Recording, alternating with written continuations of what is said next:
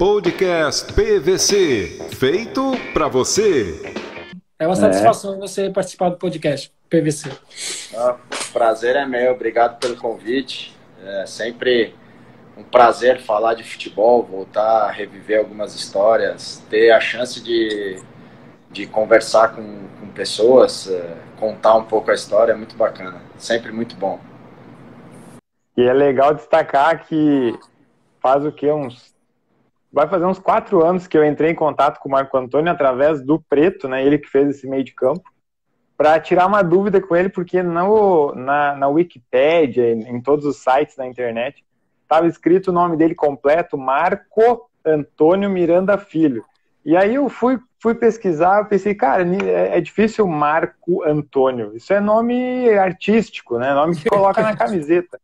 E aí eu confirmei com ele e ele, ele disse que é Marcos Antônio, não é Marco Antônio. Marco Antônio é porque vira, né, tipo, como é que fala a palavra? Casual, assim, né? Tipo, ah, ô Marco Antônio. Ninguém é fala fácil, Marcos né? Antônio, né? Mas é, aí eu achei curioso isso. A minha avó errou com meu pai que acabou errando comigo. Aí, ah. O certo era para ser Marco Antônio. Aí virou Marcos Antônio com minha avó colocando no meu pai. E aí, como eu sou filho, no nome passou a ser Marcos Antônio também. E eu, essa história do nome é engraçada, cara, porque em casa é, sou eu, meu pai e um primo que chama Marcos. Então eu virei o Marquinhos e no futebol, na base, eu era Marcão. Quando eu subi profissional, eu nunca gostei do Antônio no meu nome, cara. Nunca é, desde moleque, assim, sei lá, achava é, é nome de velho, eu, eu, não gosto. É, mano, é estranho, né? Quando eu subi pro profissional, o Oswaldo de Oliveira me chamou antes de um treino, e aí, pô, me fala seu nome inteiro, porque Marquinhos e Marcão já tem muito no futebol. Eu que vou te batizar e tal. E aí falei, ele falou, agora vai treinar e quando acabar o treino eu vou te chamar e ver se você aprova. E aí ele chamou e falou, ó, vai ficar Marco Antônio sem o S, porque é mais fácil pronunciar, é mais fácil é, colocar o nome na camisa caso precise. E, cara, me deu aquela coisa de falar para ele, é, porra, eu não gosto do Antônio, velho, pelo amor de Deus, tira isso. Ele aí, tá bom para você? Porra, tá ótimo para mim, tá certo. Você já me subiu pro profissional, você bota o nome que você quiser, tá tudo bem. É verdade. Não, e aí foi, aí o Marco Antônio nunca coube na camiseta, né? Tem um número limite ali de letras. E aí, para piorar, ficou M. Antônio. Eu falei, cara, agora eu ter que assumir o Antônio. Quando eu fui jogar fora do país, que só tinha o M. Antônio na camisa, os caras só me chamavam de Antônio, não chamavam pelo não. nome. Velho, olha, falar pra você. O Antônio, eu tive que abraçar né? ele e caminhar com ele. Eu Agora eu caminho com ele até no Instagram. Tudo certo, já subiu, já foi. Já tô velho mesmo, agora dá pra assumir. O Antônio tá tranquilo. É, tá é, é verdade, cara. Antônio é nome de velho mesmo, cara. Vou ser sincero, né? Pô, Antônio, mano, é nome de tiozão, Otônio, sei lá que é. Que é. Mas, seu, mas, seu Toninho. É, seu Toninho, Otônio, é, mano, é complicado. E conta pra gente, cara, como que foi, né? Você, desde criança, para chegar é, é, no profissional, chegar na base de São Paulo, no maior do Brasil. Conta para nós como que foi. Cara, eu sou natural de São Paulo, aqui da Zona Leste, é, de Tatuapé. E eu Tatuapé. nasci e cresci num condomínio de prédios. Tinha uma galera da minha idade, é, um pouco mais velha, um pouco mais novo. Então, quando juntava na quadra para jogar bola, cara, muito moleque. E e até o Ivan, ele entrou aqui. Beijo pra você, Ivan. O, o, o, pai do o Ivan morava no meu prédio. O pai do Ivan conhecia um treinador da base, o finado uhum. é, que, que me deu e me arrumou, abriu essas portas dessa oportunidade. É, ele conhecia o treinador da base do São Paulo e aí falou: ó, tem um moleque lá no prédio, assim, que todo dia tá lá embaixo jogando bola, o moleque leva jeito e tal. Olha o Ivan aí, é, eu vi crescer literalmente, foi o pai dele que me, que me deu essa, que me abriu essas portas. E aí ah, arrumou um teste para eu ir fazer, fui fazer num terrão, num campo que chama Rebouças, que é perto do Morumbi. É, éramos em 40 moleques, acabou ficando eu e mais dois. Nossa. E aí aquela história, foi o teste na terça, ó, vocês três voltam na quinta, vocês três voltam na outra terça, E assim foi até que eu me firmei, isso com 10 anos. E aí comecei minha trajetória no Dente de Leite, infantil, juvenil. Uhum. Uh, juniores eu joguei um ano e pouco, aí já subi pro profissional. E, e antes dos 10 eu jogava futebol de salão, escolinha. É, comecei com, com seis anos, assim, escolinha de, de futebol de salão. E, e, com 10 no campo mesmo, que era o que eu gostava, era o que eu, o que eu curtia jogar, nessa oportunidade, nesse teste. E dali não, não parei mais. Você não ficou famoso lá no meio da galera, lá, no, é, lá naquela época, de jogador de condomínio, não? Não tinha aquela fama? Jogador de condomínio ou não? Aquela fama tinha. de jogador de condomínio? Tinha, tinha, mas, cara, assim, eu, graças a Deus, todas as fases que eu passei da vida uh, dentro do futebol sempre foi uma aprovação, uma adaptação. Uh, e eu sempre fui muito tranquilo quanto a isso. Eu nunca. Até porque esse condomínio que eu morava, cara, os jogos, as brincadeiras nossa lá, tinha muito moleque bom, muito moleque que poderia ter seguido, uh, que poderia ter feito. Então, a gente sempre jogava com os mais velhos, então apanhava pra cacete. E, uhum. e assim, a, a adaptação para isso, essa história de ser do condomínio, lá no condomínio não colava muito não, sabe? Uhum, sim. Lá, lá o couro cantava e, meu, você ia jogar com um moleque mais velho, com 10, jogava com um moleque de 14, 15. Era, era muita diferença e, e o bicho pegava, literalmente. e eu lembro que que quando começou aquela temporada de 2012, se falou muito na imprensa, né, do, do esquema do Luxemburgo, que era três volantes, né, e o Marco Antônio ali como a cabeça do time, né. Eu queria que tu me falasse como foi, assim, ser, vamos dizer, protagonista, né, desse formato, desse esquema no início de 2012 ali. É, cara, quando eu cheguei, era o Caio ainda, né, era o Caio Júnior, finado Caio Júnior, treinador, e... É e aí ele, cara, uma expectativa, tinham acabado de trazer o Gladiador, tinham trazido o Marcelo Moreno, o Douglas tinha ficado, uh, a base do time era muito forte. E eu estava vindo da portuguesa, uh, tinha o Marquinhos Meia, que era com quem a gente disputava posição, eu, ele, era o Douglas, é. uh, tinham trazido alguns outros jogadores. E aí o Caio chamou, cara, e era aquela expectativa para ver a a estreia, né, cara, desses caras de nome que eles tinham contratado. E, pô, o Caio botou eu jogar de, de ponta esquerda e o Douglas jogar de ponta direita. Ele fez um esquema a lá Manchester City, era o Kleber e o Moreno Desde aquela época, maluco. Cara, o, o Douglas, eu olhava pro Douglas, o Douglas olhava para mim, mano, que, que, como nós vamos jogar? Você tá de um lado do campo, eu tô do outro. Nós tomamos 2 a 0 em casa, acho que pra Lajeadense. Cara, um fiasco. Nossa. Um fiasco. É. A estreia da, da temporada. E aí é. o esquema foi mudando. Aí o Roger assumiu interinamente, quando o Caio saiu. Isso. E aí ele mudou o esquema, botou esse três volantes e eu na, na ponta do, do losango ali. E era difícil, eu tinha muita dificuldade de jogar de costas pro gol. Nunca gostei de jogar de costas pro gol. Eu sempre fui um terceiro homem de meio campo eu era um 8, Sim. eu não era um 10. E nessa função eu tinha que jogar de 10. De 10 para mim era muito difícil, cara. Por jogar uhum. de costas. No futebol do Sul já é um futebol diferente para as características de jogo que eu tinha. Então já ia ser difícil para mim. É, é. E aí jogando de costas, cara, assim, bem, bem, bem difícil. Mas teve o jogo que o Vanderlei chegou, que foi no, no Beira Rio, é, contra o Inter, a gente ganhou de 2 a 1 um. É, eu dei passe para um gol do Kleber, bati uma falta, o Gago fez o. O Gago fez o primeiro, o Kleber fez o segundo, nós ganhamos 2 a 1 um. Quando acabou o jogo, o Vanderlei me, me pegou no vestiário e falou: Por que, que você está jogando de 10? Por que você está jogando de costas pro gol? Falei: Porque me colocaram ali. Ele falou: Não, não. Desses três volantes você vai jogar atrás. Uhum. E o Marquinhos jogava desse volante aqui. Ele falou: Nós só vamos inverter. Falei, professor, graças a Deus o senhor enxergou isso e, e me trocou, porque para mim é uma dificuldade absurda ali. Absurda demais. Foi legal tu trazer isso. Que eu, eu ia te perguntar sobre isso, como é jogar de costas, né? E agora que legal que tu já falou sobre isso, não precisei nem perguntar. O, o cara é muito inteligente, né? Ele já anteviu a pergunta. Eu tinha, eu tinha muita dificuldade com isso, velho. Muita dificuldade. Eu sempre fui de construir jogo vindo de trás. Eu, para eu virar e tentar achar o centroavante numa bola, pifar alguém, pôr alguém na cara do gol, eu tinha que vir de trás. Eu gostava de ver o jogo antes de acontecer, sabe? É, ver a movimentação para pensar a jogada um pouco antes da bola chegar em mim. E quando eu jogava de costas, eu não tinha esse tempo disso. É. E era, era assim, era, era extremamente difícil para mim. Teve um jogo no Olímpico que eu saí, cara. Acho que foi o jogo que eu mais saí vaiado na minha vida. O Olímpico estava lotado. É, nós e Palmeiras, na semifinal da, da Copa do Brasil.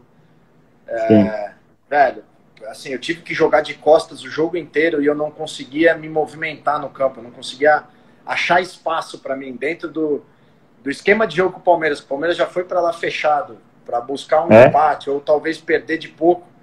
É, eu saí com 42, 43 do segundo, mas vaiado, velho. E tava 0 a 0 o jogo. Acabamos perdendo 2 a 0 tomamos dois gols, 45 47. E, e ficou marcado assim esse jogo, porque de fato eu joguei de costas praticamente o jogo inteiro. Não consegui me achar no campo. Era, era, eu brigava comigo mesmo de não estar tá participando, de não conseguir fazer o que eu fazia, mas era, era, era por característica, velho. Era muito difícil para mim. Muito difícil. É, o Felipe, Filipão deve ter feito de propósito. Ele deve conhecer o teu futebol e falou: ó, vou botar três volantes na cola dele, ele não vai é. jogar. E já era uma facilidade que o Douglas tinha, por exemplo. O Douglas jogando de é. costa era um absurdo. Ele, Sim. Sim, é ele enxergava o jogo assim, cara. Ele só gostava de jogar de costa. Quando punha ele para vir é. de trás, é característica, não tem jeito, velho. Sim, é, e é legal trazer isso, porque às vezes a gente reclama do meio campo e às vezes ele está tendo obrigado a cumprir uma função ali que não é a dele. Verdade. É isso. E, e aquela passagem que tu comentou ali, o empréstimo para o Náutico, né, com, com 20, 19, né, porque tu faz em 19. novembro, né, então tu ainda tinha 19 anos quando foi emprestado ao Náutico, até ouviu do pai ali, então, quer parar ou quer continuar? E, para a surpresa, eu acho que de alguns, né, o Náutico ficou em segundo na primeira fase, fez uma campanha absurda, é, chocou a, a imprensa, e tu foi um dos destaques, fez oito gols, se eu não estou enganado, né? Fez acho que oito gols, né? Vários jogos e, e tal. Foi ali, vamos dizer, um destaque. Aquela, aquele momento ali na tua carreira foi importante para ti, porque né, de, de, talvez parar de jogar para destaque e depois né, conseguiu o teu espaço, inclusive voltou, acho que na outra temporada, a jogar no São Paulo, né, que daí acho que era o objetivo, né, jogar no São Paulo, né. O empréstimo foi para isso, né, para ver se tu, se tu tinha condições, né. É, eu fui emprestado para lá, na verdade, para ganhar essa essa cancha de futebol profissional, sabe? Assim, você não vai jogar é. no São Paulo, uhum. você vai ficar aqui no banco, vai entrar de vez em quando, ou, ou nem vai para jogo, então vai vai para o Náutico, você vai emprestado. Tinha uma cláusula uhum. contratual que é, a qualquer momento, se o São Paulo me pedisse de volta, o Náutico era obrigado a liberar. Então eu cheguei lá, cara, e eu era louco para já vir embora. Então eu falava assim, cara, vou tentar fazer umas coisas aqui que não são normais e, meu, se eles me mandarem embora, ou se o São Paulo pedir embora, eu voltava. Eu não tinha a menor noção da. Só que as coisas que eu tentava fazer começaram a dar certo. E aí é, a coisa foi encaixando e foi ganhando, ganhando corpo. É, no, no meu jogo, no primeiro jogo da final, Santa Cruz. Quando eu cheguei, o Santa Cruz já tinha sido campeão do turno e faltava um jogo só para encerrar o turno, mas já com o Santa Cruz campeão. E aí o segundo turno era o campeão do turno contra o retorno, e, e no segundo turno a gente foi campeão invicto. Então foi pegar o Santa Cruz, é, que tinha sido o campeão do turno. Primeiro jogo nos aflitos, nós perdemos de 1 a 0. O Gil Baiano, que era o meia, era o craque do nosso time. Era o craque. O, o cabeça pensante do time. Os caras provocaram ele, ele foi expulso. Então ele não jogaria o segundo jogo. E aí o Zé Teodoro, que era o treinador, falou: velho, você vai. Infelizmente ou felizmente, a responsabilidade do meio-campo de criação ficou toda para você. O Gil não vai jogar. Nós perdemos o jogo, precisava ganhar de 2 a 0 lá no Arruda no jogo da volta. Ele falou: vou botar três atacantes, seja o que Deus quiser, vamos para cima. com três minutos de jogo, tava 2 a 0 pra gente. Nós fizemos um gol com um minuto Nossa. e meio e um gol com três minutos. Meu Deus! Nós ganhamos o jogo de nós ganhamos jogo de 3 a 0 eu dei passe para os três gols. Ali consolidou minha passagem lá. Aí, depois de, depois de três meses como campeão pernambucano, eu dei passo para os três gols na final. É. E eles, isso ficou marcado, cara, a minha carreira inteira. Todos os anos da minha carreira eu tive proposta para voltar a jogar no Náutico por causa desse campeonato pernambucano de 2004. Sim. Tanto que eu voltei cara, a jogar depois... em 2016. É. Voltou. Quando eu voltei do Catar, estava próximo de fechar a janela.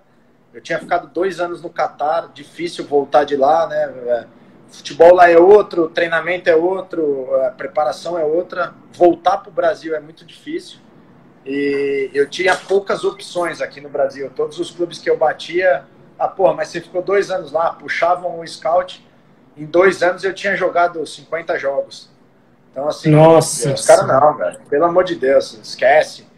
E aí o Náutico abriu as portas para eu voltar por causa dessa passagem de 2004. Sim. Nossa, faz toda a diferença, né, cara, esses scouts, né? Demais, velho. Demais. Cara. Os caras veem quantos minutos você jogou nos últimos no último ano, últimos dois anos, voltar do mundo árabe, voltar da China, voltar desses países, é, um futebol uh, de segundo nível, de terceiro nível, é, é muito difícil. Muito Caramba. difícil a readaptação física a tudo isso. Muito complicado. É, porque, porque o time tem que pensar, né, cara? O cara tá voltando, até ele jogar mesmo, vai demorar ainda para ele jogar, não tem tudo isso ainda, né? É, risco de lesão, risco de jogar aqui de quarta e domingo é extremamente difícil.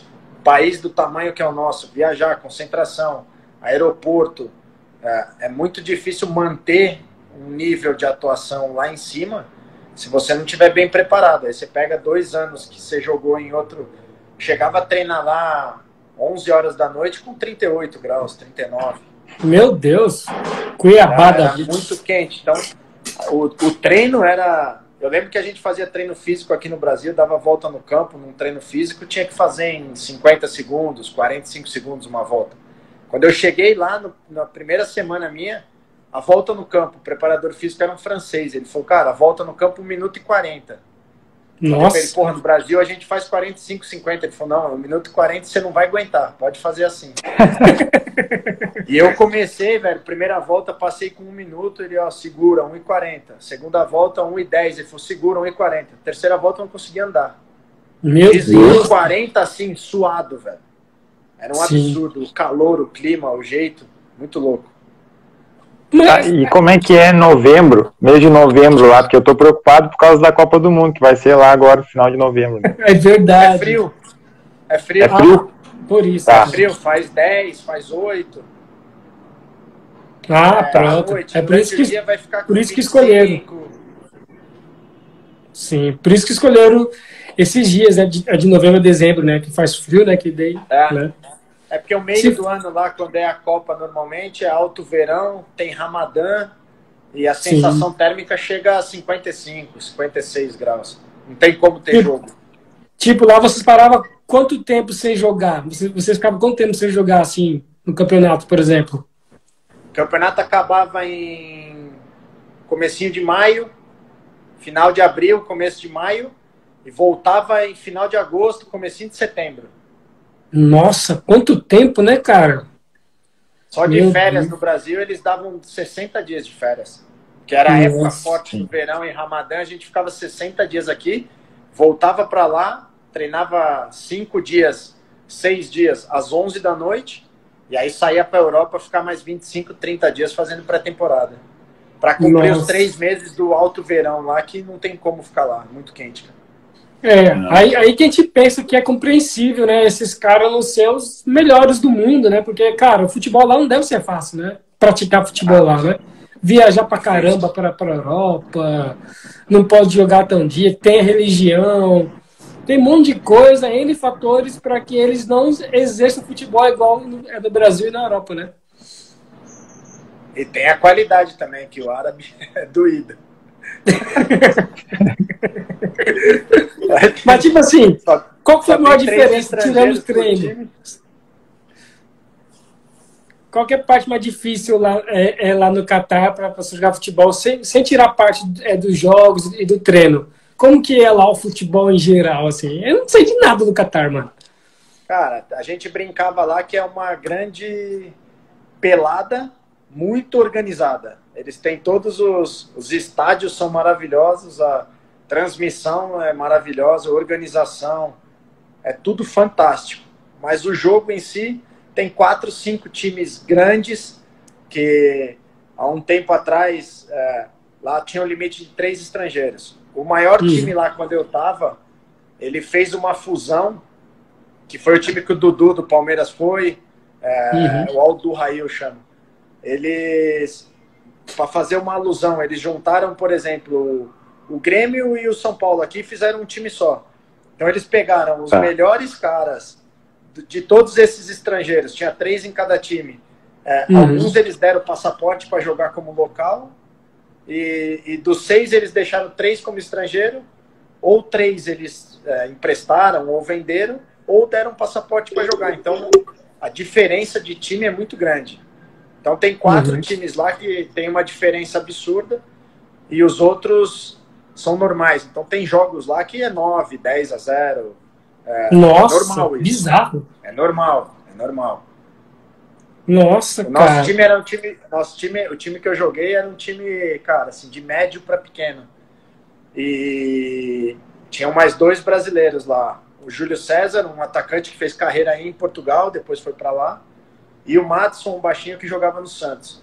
Nós jogamos contra um time grande e a gente. É. E baixinho, tu foi legal com ele, né? Fui bem, né? É, fui bem. Só que ele, cara, ele virou, ele virou rei lá. Esse moleque, o que ele jogou lá Sim. foi um absurdo.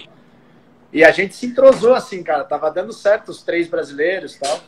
E nós pegamos um time grande com 15 minutos de jogo, fizemos 1 a 0 E eu olhei para os dois assim, eles não comemoraram. Eu falei, mano, e aí? 1 a 0 para nós. Aí ele falou, não, mano, 15 minutos de jogo, 1 a 0 para nós, você tá louco. Esse gol tinha que ter saído aos 45 do segundo, suado, e já acabado o jogo. Ele falou, espera que vai tomar 5, vai tomar 6. Tomamos 5 a 1 uma cor da bola depois. Oh. Bah, estranho, né, cara? Isso, é. isso, é. Eles têm isso. Ele falou, nós, nós cutucamos o vespeiro muito cedo. O Xavi estava treinando lá ultimamente, né? O Xavi, agora está no Barcelona. É, você teve alguma experiência, tipo, boa lá, que você falou, cara, agregou muito? Tá. Eu, quando eu tive lá, joguei contra ele, né? Ele foi para lá para jogar. Ele ficou três anos jogando, depois ele assumiu como treinador. Ah, verdade. Ele estava ainda no time, é. Foi o jogo uhum. que eu uhum. mais corri na minha vida. Corri 13 quilômetros de 800 contra o time dele. É sério? Tá 0 a 0 E o treinador falou: é você com ele. Você vai marcar ele e se vira. Corri quase 14 ah, quilômetros, velho. E quando Mano, eu chegava você... na bola, a bola já não tava mais com ele. O que o cara joga é um absurdo, assim. Mano, é você jogou realidade. contra o Chave e foi o jogo que você mais correu na sua vida, mano. Mais corri na minha vida, pra marcar ele. E isso que ele tava aposentando, né, mano? e aí, a, a, cara, assim, de experiência que você perguntou, velho, tudo lá foi muito legal, assim. É, e é muito mais difícil você reinventar o seu futebol e adaptar. É, quando todo mundo joga na mesma sintonia, velocidade de raciocínio, abertura de espaço ou ocupação de espaço, é, é um futebol mais fácil. Uhum. Quando você tem que tirar é, alguma, algum coelho da cartola todo jogo para poder fazer um negócio diferente, porque assim é, a responsabilidade é toda dos três estrangeiros, não, não tem para onde fugir. Uhum. É, seja para o lado bom ou para o lado ruim, nós fomos buscar vocês no Brasil, o problema está com vocês. Se vira. Exatamente. Se vira. Então, assim, é, você se encaixar, enquadrar no meio de tudo isso é bem complexo, assim, e é muito mais difícil jogar lá do que jogar aqui. Exatamente por isso. Uhum. Então, essa reinvenção foi muito legal, cara. Muito, uma experiência, primeiro de vida, foi maravilhosa, espetacular. Uhum. É, eu vivi aqui um momento muito muito pesado, assim, muita concentração, muita viagem, muito e eu cheguei lá, vi um outro cenário que o meu time não concentrava, não tinha viagem, não tinha é, eu pude curtir um pouco a vida lá e, uhum. e com, com uma cultura completamente diferente da nossa, assim. Então foi uma é experiência. É extremamente cara, diferente, né? Ao contrário mesmo, né? É, é muito diferente, muito diferente. É muito. Mas uhum. muito legal, assim, ter essa convivência com os árabes. A imagem que a gente tem aqui dos árabes é completamente diferente do que você vivencia lá, sabe? Aqui Sim. você fala em árabe, você já pensa em guerra, bomba, em, em Infelizmente. Maluca, atentados. Uhum. É. Quando você chega lá, você vê que os caras são carentes e eles sofrem com essa preconceito com preconceito com relação a eles, sabe? Então, para eles uhum. viajarem, tirar visto, ir para os países é sempre muito mais difícil e eles sofrem com isso. Eles têm dificuldade, é eles falam. Uhum. E a gente comentava isso com eles, né? Pô, eu tinha um, vários amigos assim no clube que eu tinha essa liberdade de falar. Eu falei, pô, quando eu cheguei aqui, ficava olhando para vocês com essa roupa branca, vendo se não tinha bomba por baixo, se não ia explodir alguma coisa aqui. Aí ele falou assim: quem vive em guerra são vocês no país de vocês, que não pode usar um relógio, não pode ter um carro bonito. A gente aqui, cara, é um maluco que explode alguma coisa. Lá vocês têm maluco todo dia fazendo merda na, na pelas todo. cidades e, e vocês acham que a gente tá errada. Eu falei, porra. Cara, mano, comenta mais, desculpa aí. Desejo sucesso pro, pro podcast de vocês, na Obrigado. vida de vocês aí em Portugal, que eu sei que estão é, longe de um monte de gente, estão vivendo coisas diferentes do habitual, então que, pô, que Deus ilumine a caminhada de vocês aí, o programa, a vida particular, profissional. Obrigado. É, foi um prazer, uma honra. Obrigado pelo convite e sucesso para vocês. Tá, muito obrigado. Show de bola. A gente, ó, a gente fica feliz, cara, de, de Marco Antônio falar isso pra gente, tá ligado? É, né? a gente ficou sem palavras agora. É, mano, muito obrigado, cara. Eu desejo isso demais. demais. Muito sei, obrigado, cara. Sei bem o que vocês passam aí, longe daqui. Não, você passou pior lá, lá no Catar. Né? Mas muito obrigado mesmo. força para encarar isso aí. Valeu. Abraço. Valeu.